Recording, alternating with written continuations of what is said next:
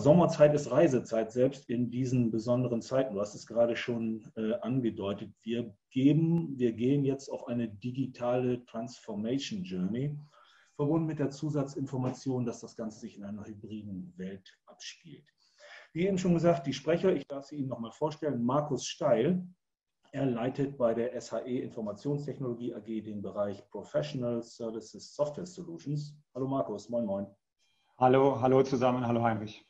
Sein Kollege Thorsten Ruf ist Projektmanager und Teamleiter. Tag, Thorsten. Hallo Heinrich, hallo zusammen. Briefly switching to English because the person I'm now introducing is going to give his part of the talk in English. Marius Kimpian is founder and CEO of the SHE branch in Cluj-Napoca in Romania. Hi, Marius. Hey, Henry. Hey, hello, everyone. Und really nice to see you here. Kurz noch zur SAE, 1987 gegründet, Software- und Systemhaus, Haupt, Hauptsitz in Ludwigshafen, gut 200 Mitarbeiter an vier Standorten, realisiert und konzipiert und betreibt innovative IT-Anwendungen und sichere IT-Infrastrukturen. Und mein Name ist Heinrich Seeger, freier Journalist und Medienberater in Hamburg.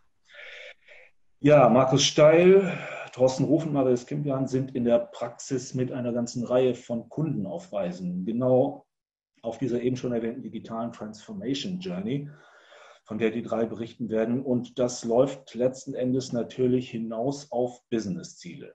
Und diese Reise, die hat viel zu tun mit digitalen Fähigkeiten, die sich in einer Organisation vorfinden, mit innovativen Methoden und Konzepten, mit geeigneter Technologie und vor allem ganz viel mit den Menschen, die das umsetzen. Markus, erste Frage an dich. Was hat es denn jetzt auf sich mit dieser Transformation Journey? Ja, Heinrich, Dankeschön. Ähm, natürlich ist es heute hier in der Form erstmal eine virtuelle Reise, wie jetzt äh, mehrfach ja schon erwähnt, äh, besonderes Medium, besondere Situation. Und ähm, eine Reise hat einen Startpunkt. Äh, in unserem Fall äh, starte ich diese Reise eigentlich immer mit einer Frage. Äh, die würde ich am liebsten eigentlich jetzt gerne Ihnen allen persönlich stellen und mit jedem Einzelnen diskutieren.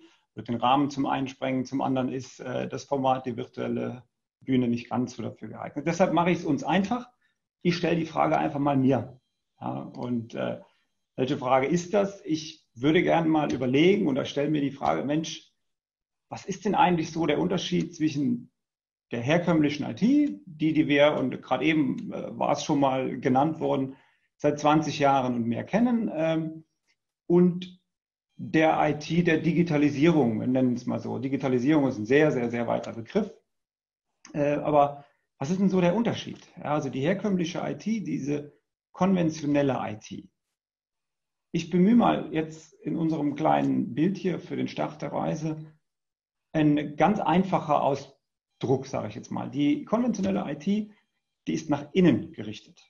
Was heißt jetzt nach innen gerichtet?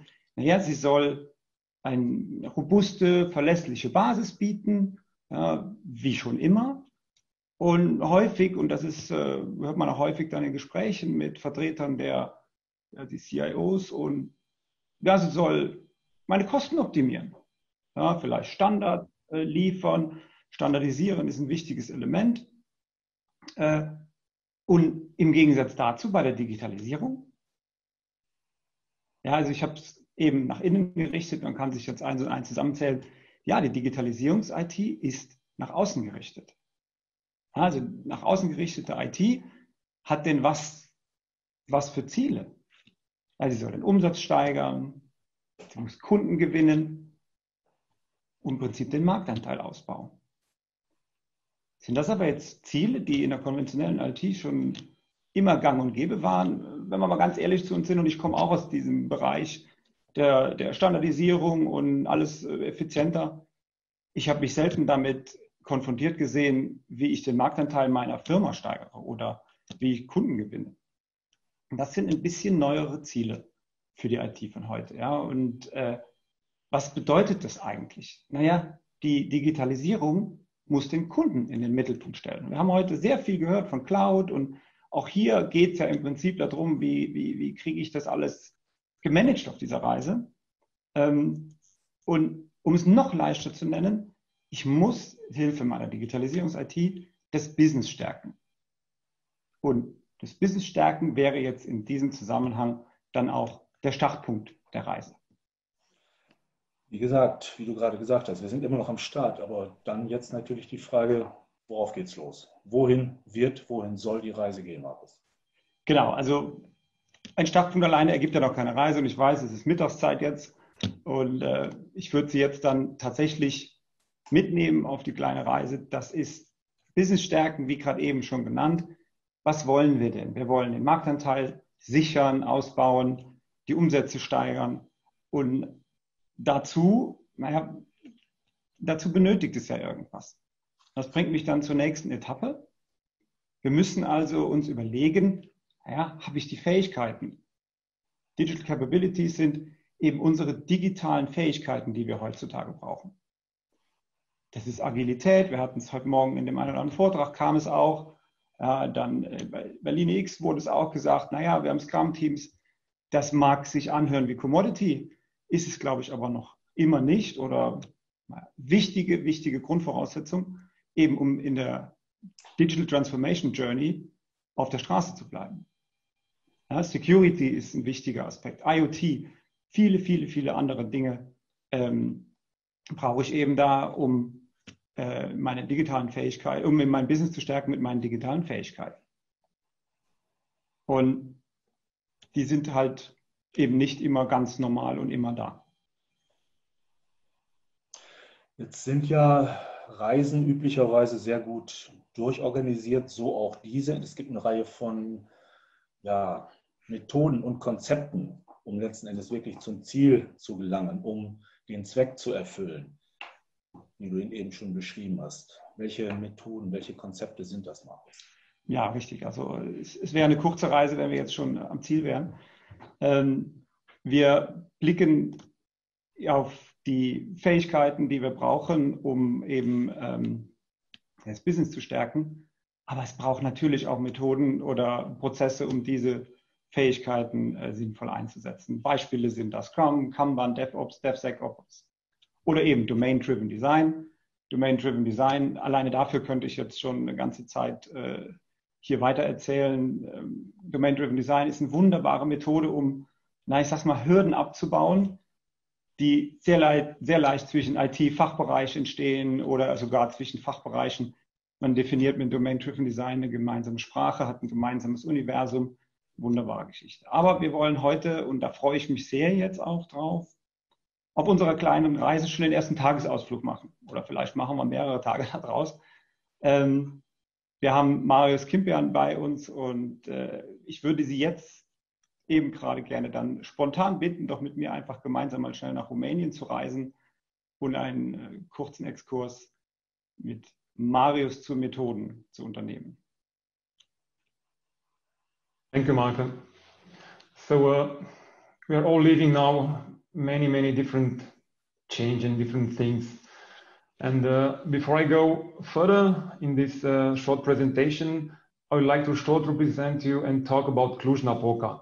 And you will see why Cluj is the real reason why we are successful in this uh, large agile projects. And agile projects, it's not the only thing that we are doing here.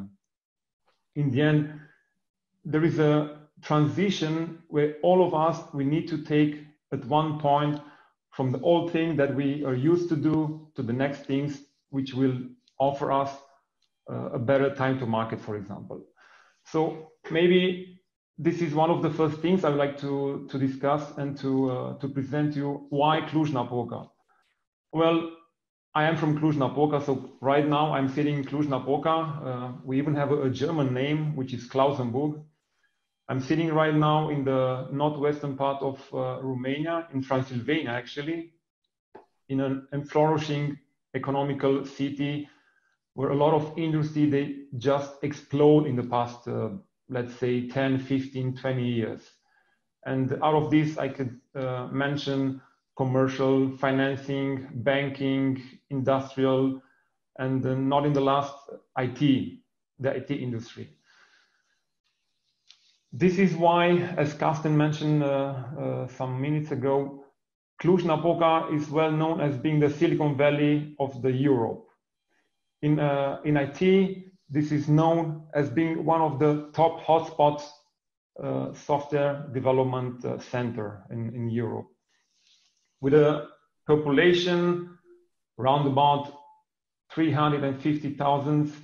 And when the students come, when they are coming, it's almost 100,000 new citizens in the city. So I think I could compare it with Mannheim, for example. So it's a really a huge university center with a lot of development and a lot of attitude. And you'll see a lot of uh, company coming from all over the world developing their business here in, uh, in Cluj-Napoca. And for this, I would like to give you some more uh, uh facts, some more uh, insights about Cluj-Napoca and why these companies, they, they choose Cluj-Napoca in order to develop and in order to expand their business uh, capabilities.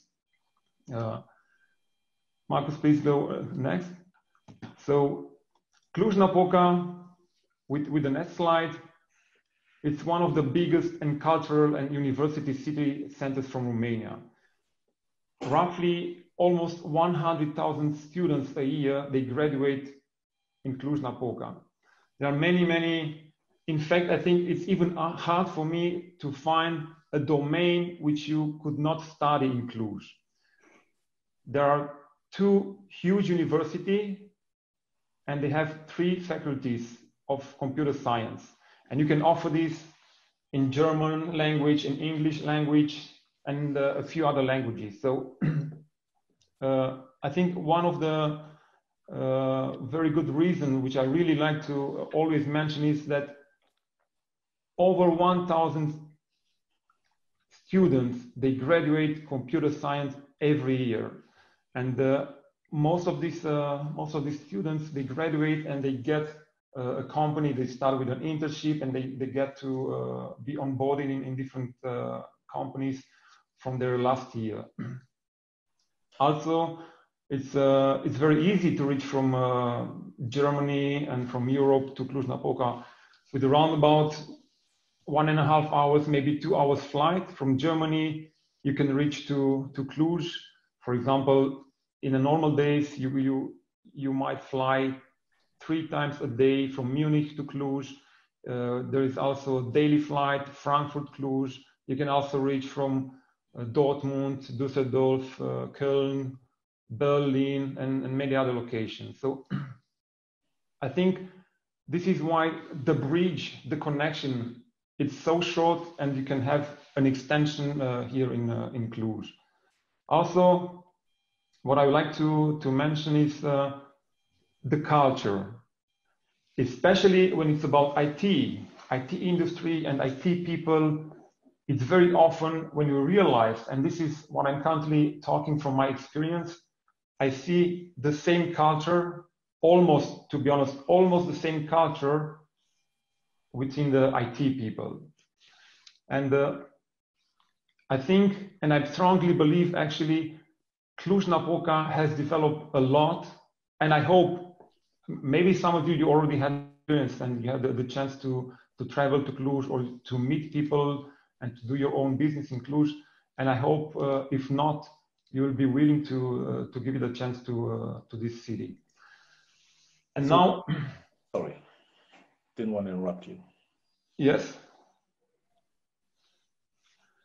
Uh, with no. Uh, having the, uh, the, the place, the great place where you can grow and you can develop your uh, your business. This is why we started and we decided to to found the company uh, here in Cluj-Napoca. Marcus, please go ahead with the with the next slide. And in, to be honest, in 2007, when we started our own journey with SIA and with our uh, German customer, we realized, okay, there is a lot of potential and this is what we did. At the beginning, we were just an extension for our uh, uh, colleagues from Ludwigshafen, and we were then growing and growing, and finally decided, well, we need to do this in in, uh, in the real world. And in 2012, we decided to uh, found our subsidiary here in Cluj-Napoca. And today, this is the fastest growing business department of SIA, having already grown in Cluj-Napoca with more than 60 uh, engineers. So uh, maybe I could uh, tell you a little bit, without going into much details, how we used to do it in, in normal cases. So with most of our customers, we start our collaboration in a test drive, project-based or time and material.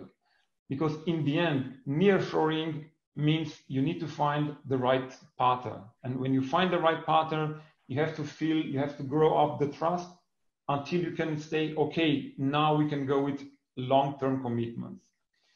And uh, by long-term commitments, uh, I would like to mention that we have a, a, way of doing our and growing our business with our customers, which in the end they become our uh, partners, and extend to two years or even longer, three years, four years. We have customers which they have been running with us with um, from many many years uh, now.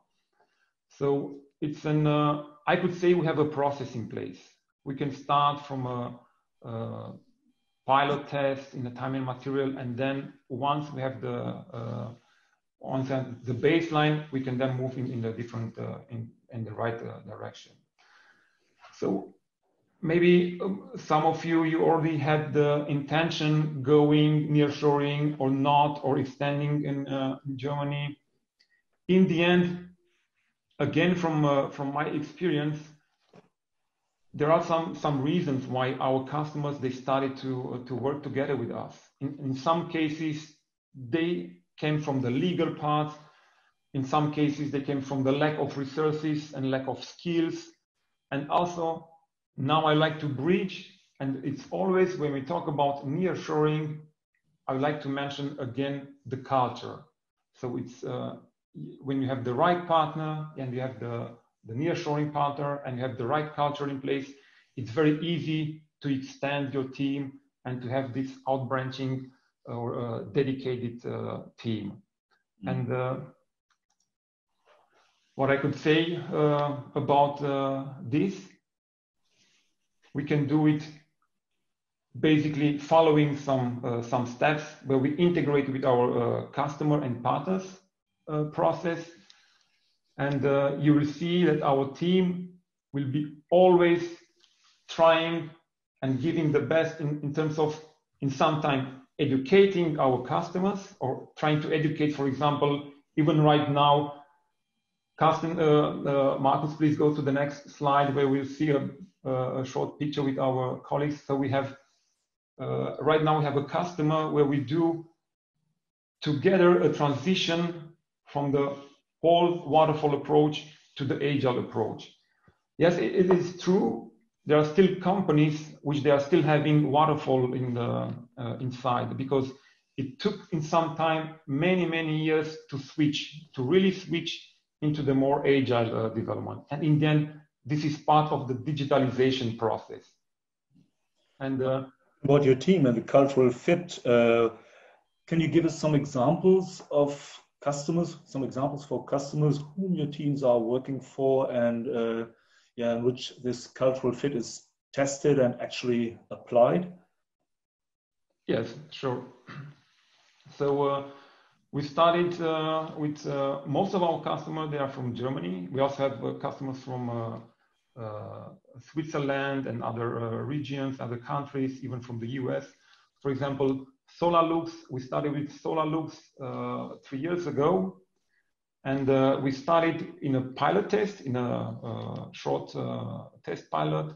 And then short after that, SolarLux decided, okay, we would like to have a dedicated team. And this is what we did in the end. We built up a dedicated team and uh, we have been working together with SolarLux uh, engineers, building up their microservices uh, uh approach.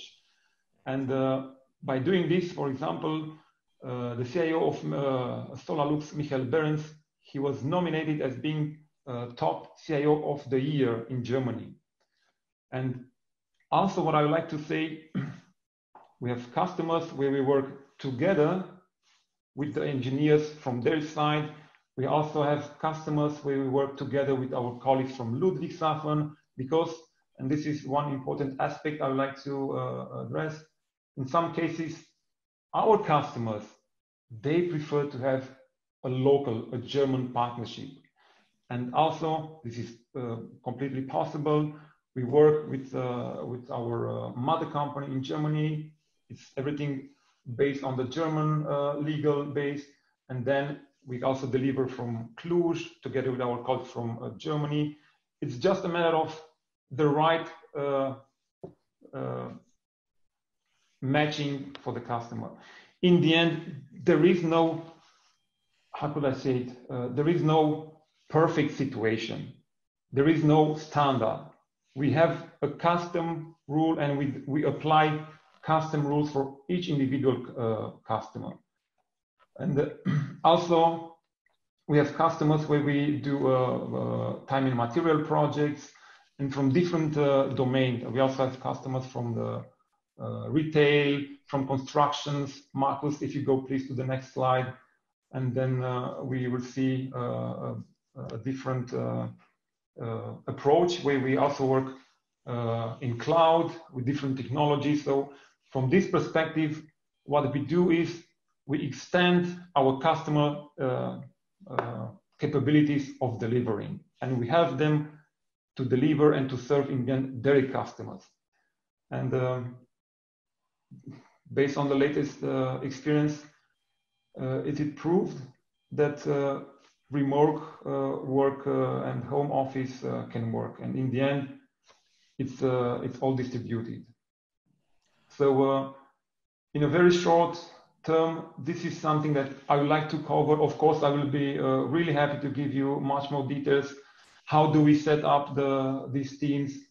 How do we do the ramp up, the, the setup? Uh, in most of the cases, when we start such projects, we go on the customer side, maybe for one, two weeks.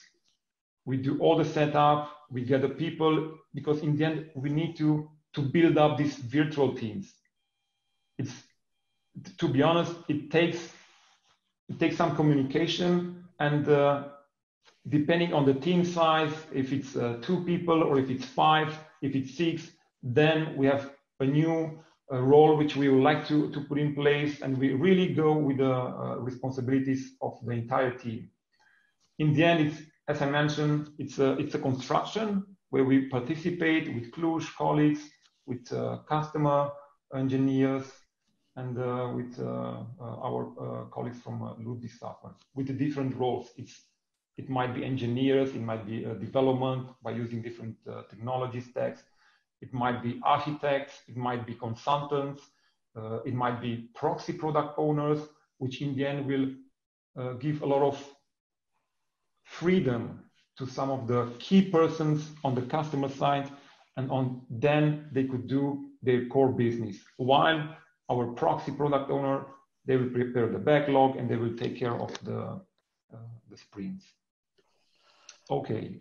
Uh, when you get in touch with new, with potential new customers, I can imagine that one of, one of the questions asked uh, most often to you is how this agile work can work over remote over over remote locations over these big distances and um, this is what strikes me as astonishing as most amazing thank you for this insight and uh, well we know from the uh, examples which you mentioned that it works and um, jetzt sprechen wir dann wieder deutsch markus methoden hat marius vorgestellt und hat einiges dazu gesagt, wie und wo sie eingesetzt werden. Jetzt wäre es ja interessant, das über ein paar Beispiele zu hören, welche ja, Building Blocks, kann man da sagen, welche Building Blocks der Digitalisierung am Ende dabei herauskommen und woraus diese einzelnen Building Blocks bestehen, Markus.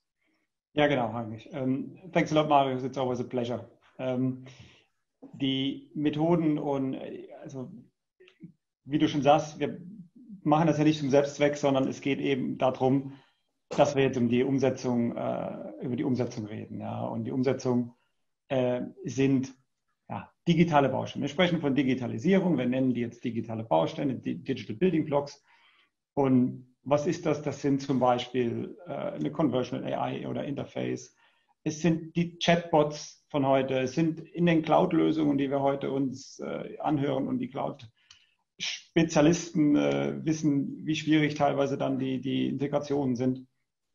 Viele verschiedene Bausteine. Naja, und diese Bausteine, um jetzt dann weiterzureisen, bedienen sich natürlich verschiedenster Technologien.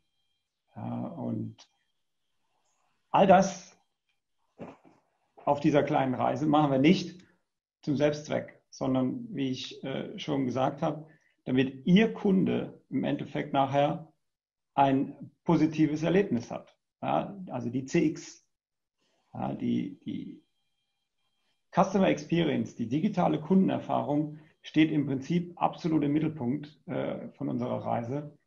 Und gut, wir nennen äh, das Ganze dann bei uns äh, CX Kit, also im Prinzip wie ein Medical Kit, wenn Sie so wollen, oder eine Toolbox, die Ihnen helfen soll, eben auch verschiedene Komplexitäten äh, zu beherrschen.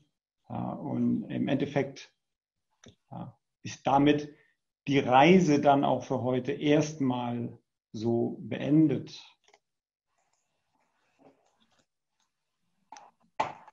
Die Reise ist schon durch, am Kundenerlebnis orientiert. Thorsten, dann äh, kommst du jetzt zu Wort. Ich habe eine spezielle Frage, wie das nämlich in der Praxis aussieht. Also es gibt einige Beispiele von Cookie Consent, hatten wir schon was gehört. Könntest du uns zum Beispiel dieses äh, Anwendungsbeispiel des Cookie Consent erläutern erstmal? Ja klar, natürlich. Ähm, danke Heinrich. Ähm, genau, ich habe als Praxisbeispiel den Cookie Consent gewählt, ähm, ganz besonders, weil ich denke, dass sicher alle Teilnehmer auch äh, hier und da schon mal in Berührung gekommen sind mit einem Cookie Consent, ähm, zumindest in irgendeiner Ausprägung auf irgendeiner Webseite. Man trifft sie ja doch recht häufig an in letzter Zeit. Auch natürlich aufgrund des BGH-Urteils, das im Mai auch nochmal die Notwendigkeit äh, wirklich unterstrichen hat, wie wichtig so ein Cookie Consent ist. Ähm, keine Sorge, ich gehe jetzt aber nicht auf die rechtliche Lage hier ein, sondern wir werden uns jetzt wirklich nur auf die reinen Aspekte des CX-Kits konzentrieren. Steigen wir doch einfach mal direkt ein mit so einer typischen Anfrage, die so an uns herangetragen wird. Ja, das ist, zum einen, brauchen wir denn überhaupt so einen Cookie-Consent für unsere Webseite? Vorab, die Antwort ist meist ja. Ähm, und welche Lösungen gibt es denn am Markt und was kostet uns das? Ganz logische Frage. Ähm, die erste spontane Reaktion, um äh, jetzt wirklich schnell an das Ziel zu kommen, ist dann meist, dass man äh, wirklich am Markt alle Lösungen evaluiert und schaut sich alles an, ähm, prüft natürlich die Kosten ähm, und selbstverständlich muss das Tool auch noch in den Technologie-Stack passen. Packen wir dann noch eine agile Methodik drauf, wären wir eigentlich schon fertig und könnten direkt losstarten. Aber sind wir uns denn wirklich sicher, dass wir auch alle Informationen hier beleuchtet haben, alle Aspekte beleuchtet haben? Ähm, mit Sicherheit nicht. An dieser Stelle sollten wir nämlich zuerst nochmal prüfen, ob wir wirklich alle Aspekte der Anforderungen auch beleuchtet haben. Am besten nehmen wir dazu dann unseren CX-Kit, den wir eben schon gesehen haben, und schauen einfach mal, was wir denn schon wissen und tragen das einfach ein. So, man kann hier schon sehr schön sehen, dass wir nur sehr wenig überlegt haben, wie eigentlich der Cookie Consent unser Business stärkt. Ja? Warum brauchen wir also einen Cookie Consent? Nun, zum einen machen wir das natürlich, man sieht es ja schon, ähm, um die Anforderungen der DSGVO zu erfüllen. Im CX-Kit tragen wir das ähm, etwas allgemeiner immer als Compliance ein. Jetzt haben wir aber auch, viel wichtiger von Markus vorhin gehört, wir sollen den Kunden in den Mittelpunkt stellen. Also bedeutet das für uns, wir müssen ja aus der Kundenperspektive denken. Okay, dann tun wir das und fragen uns jetzt einfach, was hat denn der Kunde von einem Cookie-Consent, wo er doch meist eher als störend empfunden wird. Nun, auf der anderen Seite ist das Einholen eines ähm, Consents auch ein Vertrauensthema. Das heißt, wir fragen den Kunden oder wir bitten ihn um Erlaubnis, ähm, einen Cookie setzen zu dürfen. Das zeigt natürlich auch, wir nehmen das Thema Datenschutz ernst. Also er kann uns vertrauen. Und somit stärken wir also auch die Kundenbindung. Wenn wir jetzt mit dieser Perspektive, die wir schon Richtung Kunden eingenommen haben, ähm, wenn wir mit der weiter Richtung CX-Kit schauen, dann fallen uns auch noch weitere Ergänzungen ein. Was ist denn eigentlich, wenn der Benutzer einem Cookie-Consent nicht zustimmt? Also er klickt Nein, ich möchte keine Cookies. Welche Auswirkungen hat das dann auf das Reporting oder auf existierende KPIs? Es ist nämlich auf einmal dann nicht mehr möglich zu ermitteln, wie viele Besucher denn nun tatsächlich auf der Webseite waren. Eigentlich eine Katastrophe. Um das wieder zu ermöglichen, ähm, brauchen wir dann noch einen weiteren digitalen Baustein. In unserem Fall, in dem Beispiel, nehmen wir das Produkt Matomo. Damit sind wir dann wieder in der Lage, ohne den Einsatz von Cookies rein serverseitig Benutzer-Sessions zu identifizieren. Und so können wir dann wirklich viele der KPIs aus den Daten, dieses Mal DSGVO-konform, danach auswerten. Soweit, so gut. Wir müssen aber auch noch weiter dafür sorgen, dass wir die Akzeptanz des Benutzers gegenüber dem Cookie-Consent auch steigern. Also, dass wir möglichst viele ähm, Klicks haben auf Ja, Cookies erlauben.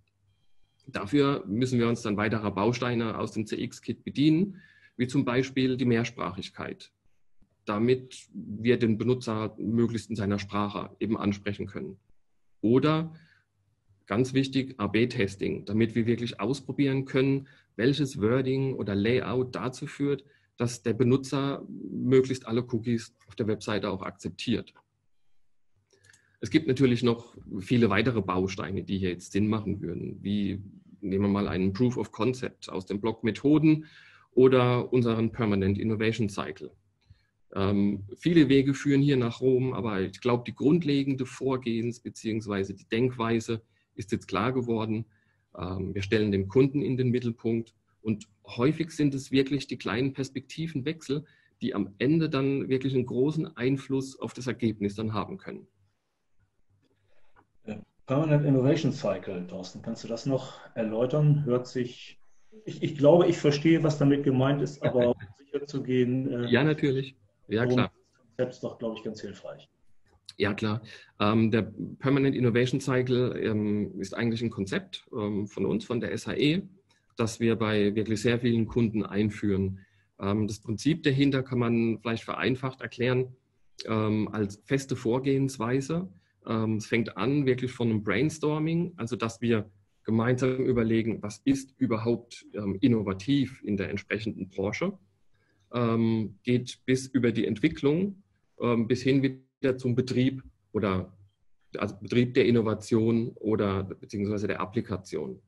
Und ähm, ganz wichtig ist, damit nach dem Betrieb eben dann kein Stillstand eintritt, sorgt der Permanent Innovation Cycle dann dafür, dass wir uns dann wieder Gedanken machen über Verbesserungen oder eventuell sogar über die nächste Innovation. Also ist eine Sache, die jeder euch bestellen muss oder äh, geht er damit sowieso an jedes Projekt ran? Also ähm, wir können im Vorfeld darüber äh, reden, aber in, in, der Regel ist es etwas, was sich ganz natürlich ergibt und was wir dann gemeinsam ähm, etablieren dann mit dem Kunden. Okay, aber sagt wir, ohne, ohne Innovation Cycle können wir auch machen. Also das wäre dann eine Vorgehensweise, die ihr nicht empfehlt. genau. Ja, es ist mittlerweile recht etabliert. Oder vielleicht zusammengefasst kann man vielleicht noch sagen, ähm, dass der Permanent Innovation Cycle eine schnelle Realisierung und eine permanente Weiterentwicklung sicherstellt. Damit ist es, glaube ich, ähm, auch ganz rund beschrieben. Und welcher Kunde möchte das denn nicht? Es kam mir eben vom Cookie Consent, das ist ja so die Pflicht, kann man sagen, DSGVO-mäßig kommt man daran überhaupt nicht vorbei. Äh, die Kür wäre dann eher so ein ja, hoffentlich attraktives oder wahrscheinlich attraktiv gestaltetes Werkzeug der Kundenansprache, zum Beispiel ein Chatbot. Da habt ihr auch noch was im Bett gehört. Ja, ganz genau. Der Chatbot ist mein zweites Beispiel. Ähm, unser Chatbot heißt in unserem Beispiel Janina. Ähm, beziehungsweise eigentlich ist es nicht unser Chatbot, ähm, sondern der von Janitos. Und ähm, falls jetzt jemand Janitos nicht kennt, Janitos ist ein Versicherer aus Heidelberg, den wir schon seit der Gründung bis heute partnerschaftlich begleiten ähm, dürfen. Und gemeinsam haben wir bereits einige Projekte ähm, umgesetzt. Und eines davon ist eben die Janina, die wir von der Konzeption bis zu dem fertigen Produkt in äh, wirklich sehr kurzer Zeit auch umgesetzt haben. Ähm, Janina kann aber in Anbetracht der kurzen Realisierungszeit dafür schon wirklich eine ganze Menge. Also zum Beispiel kann sie ähm, Fragen zum Ablauf einer Schaden- oder Leistungsfallmeldung beantworten. Ähm, sie kann Informationen über Versicherungsprodukte ausgeben. Und das Ganze geht dann bis hin zu einer Tarifberechnung für eine Haftpflichtversicherung. Natürlich kann sie noch einiges mehr. Ähm, das würde jetzt aber den Rahmen sprengen. Ich glaube, jeden, den Sie interessiert, einfach janitos.de, einfach mal draufgehen und mal einen kurzen Plausch äh, mit der Janina halten. Ja, aber kommen wir zu der Frage zurück, wie haben wir das denn jetzt eigentlich gemacht? Wir haben gesagt, wir haben es in einer sehr kurzen Zeit realisiert. Ähm, wie ging das denn los? Ähm, wir packen wieder die Anforderungen, die so üblicherweise an uns herangetragen werden, an den Anfang. Ähm, die waren jetzt in dem Fall, wir möchten eben näher am Kunden sein. Oder ein, wir möchten ein modernes Look and Feel und wir möchten als innovatives Image äh, wahrgenommen werden. Ähm, der nächste Schritt war dann ein gemeinsamer Workshop, in dem wir dann alle Ziele herausgearbeitet haben. Und neben dem innovativen Image haben wir uns dann auch gefragt, ähm, was es denn in der Versicherungsbranche bedeutet, näher am Kunden zu sein. Also wir mussten uns hier wirklich in die Lage des Kunden versetzen. Die Ziele, die waren dann recht schnell ausgearbeitet, ähm, nämlich, dass der Kunde einfacher und schneller relevante Informationen finden soll, was manchmal nicht eben über die Navigationsstruktur von der Webseite so einfach möglich ist und es soll auch durch das Service Management schneller bedient werden können. Damit ist dann gemeint, dass Janina viele allgemeine Fragen schon direkt beantwortet und somit keine Anfragen mehr an das Service Management mehr gestellt wird. Also werden dadurch dann die Mitarbeiter und Mitarbeiterinnen im Service Management dann entlastet. Tragen wir das doch alles einfach mal in unseren TX-Kit ein und schauen uns das an.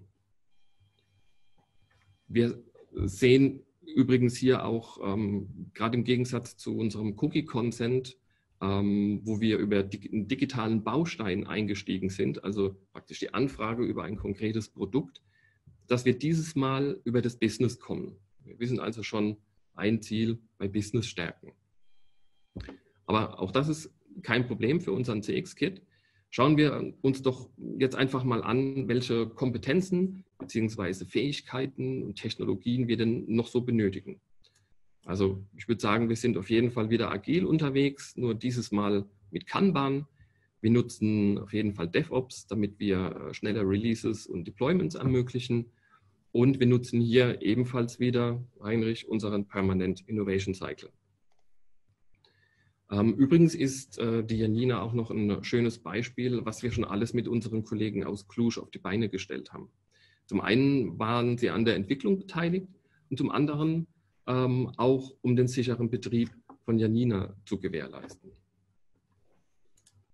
Ja, dann äh, vielleicht noch ein paar Worte zur Architektur und den eingesetzten Technologien. Die sind sicherlich ebenfalls noch sehr spannend. Unsere Janina besteht ähm, aus den folgenden digitalen Bausteinen. Zum einen ganz logisch Chatbot, zum anderen aber aus dem Baustein Conversational Interface. Wir nutzen hier ähm, Google Dialogflow, um Conversational Interface zu erstellen, auf das Janina dann aufsetzt. Wir kombinieren das alles dann mit verschiedenen Microservices, die Java und Node.js dann geschrieben sind, ähm, gerade eben für die Berechnung der Versicherungstarife. Und das alles im Gesamtbild ergibt dann unsere Janina. Es wäre natürlich auch möglich, ähm, Janina per Alexa, Facebook Messenger oder WhatsApp zugänglich zu machen, um den potenziellen Nutzerkreis noch zu erweitern. Auch die Möglichkeiten können wir dann im CX-Kit erfassen, sodass wir dann am Ende so einen 360-Grad-Blick auf alle relevanten Themen haben. Auch wenn wir diese vielleicht nicht im ersten Schritt sofort umsetzen wir haben es dann zumindest auf unserer Roadmap. So viel zum Chatbot. Dankeschön, Thorsten.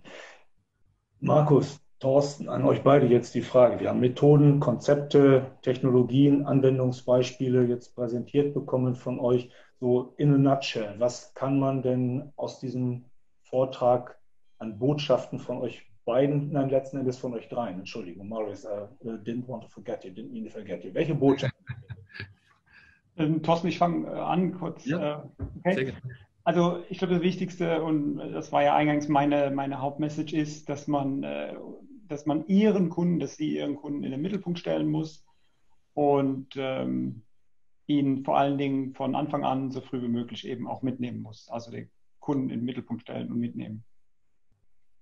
Mhm. Von äh, meiner Seite, wenn ich da direkt anschließen darf, würde ich sagen, das Thema Digitalisierung ist sehr komplex und unser CX-Kit, der hilft uns eigentlich dabei, genau diese Komplexität eben sichtbar zu machen, aber auch dadurch managebar.